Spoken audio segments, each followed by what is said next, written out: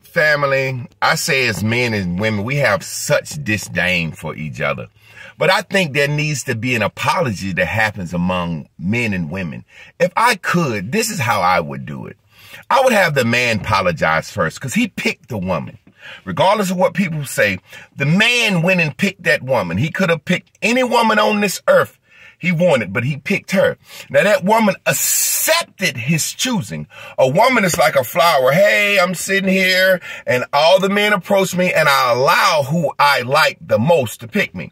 But I would say to the men first, man, say, tell the woman I'm sorry.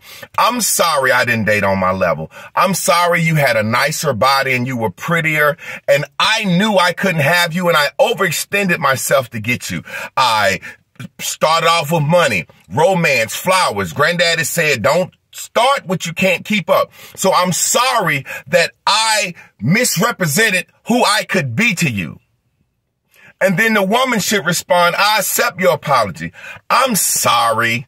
I knew I couldn't respect you. I didn't like the way your body was built. I didn't like the way you smelled. You just weren't cool enough for me. I had been with other men that were better than you sexually. You didn't make enough money. It was just some things about you that I was never going to be able to respect about you. I'm sorry. And then they need to look at each other and say, now, if we have a kid, can we co-parent effectively? And if we don't have kids, can we stop blaming it on the entire race? Men ultimately is your fault because you chose though.